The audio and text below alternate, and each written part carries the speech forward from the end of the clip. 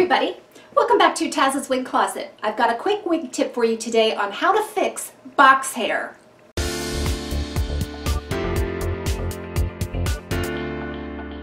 Box hair is just what it sounds like.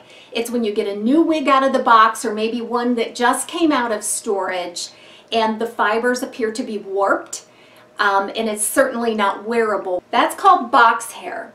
And it also can be called cold crimping, uh, which just means that under normal conditions, due to the wig being either stored incorrectly or placed in the box incorrectly or whatever the reason is, those fibers have taken on that shape of the box or they've been warped in some way. And it's just going to take a, a few little tech, quick techniques to fix all that and make it ready to go. Let's go through a couple of things that you want to do right away. When the wig comes out of the box, give it a lot of vigorous shakes. Sometimes that's just enough to bring that wig style back into its intended style. The other thing you can do is take a spray bottle of water, generously spray the wig down, give it a shake, and let it dry upside down in the shower on a, or on a robe hook overnight, and then the next day it should have taken on its intended style. If you have more stubborn cold crimping going on in your style, um, there's a, a few things that you can do. Try washing, conditioning, and thoroughly drying the wig.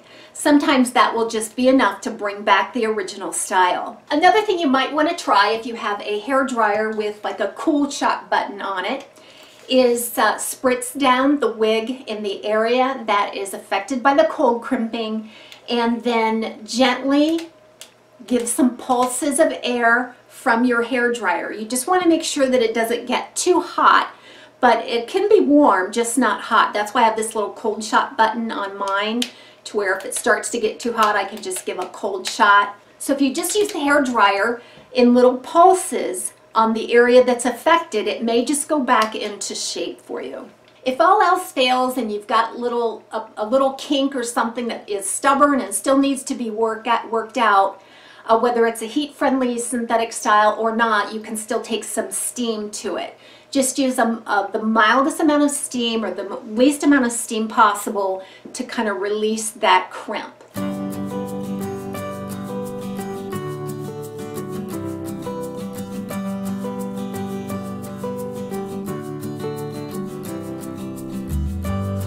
Just remember, proper storage is going to help prevent box hair or cold crimping. Make sure that you uh, only store a completely clean, dry wig and that it's uh, put back into its, preferably put back into its original packaging in the exact way that the manufacturer shipped it to you. And that will help ensure that it lays appropriately and doesn't get the cold crimping. The other thing you don't want to do is store your wig with any accessories in it any barrettes, combs, or clips because over time it may permanently alter the style. This has been a quick tip on how to fix that box hair and prevent cold crimping. Have a great day everybody. See you next time on Taz's Wig Closet.